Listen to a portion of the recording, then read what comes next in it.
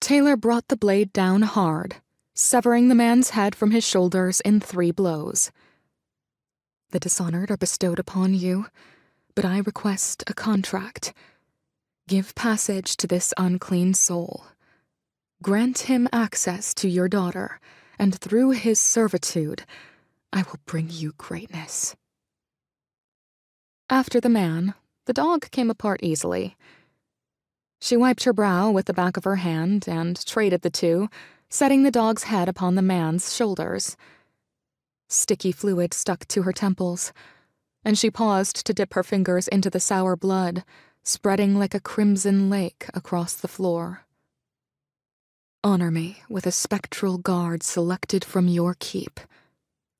She closed her eyes and dragged her bloody fingertips across her face, leaving red trails from forehead to chin. Long is the way.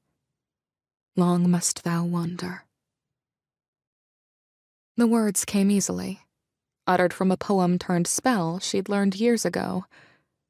The Battle of Svidog, solemn and ancient, poured from her in long winded stanzas as she sewed the dog's head into place and sutured the patches on the man's body where insects had chewed at him. Power churned inside her.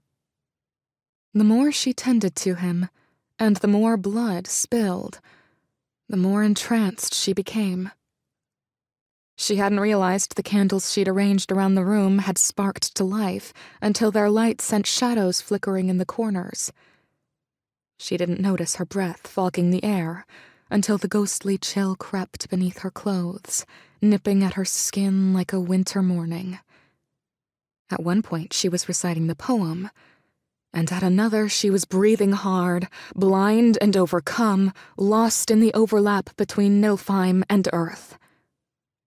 I am your daughter, she whispered, teeth chattering, and traded the cleaver for her boline, pressing its curved mouth to her arm. And I am loyal. Give unto me the blessing of vorðr. Tehlor winced and sliced her fair flesh. The small incision gaped.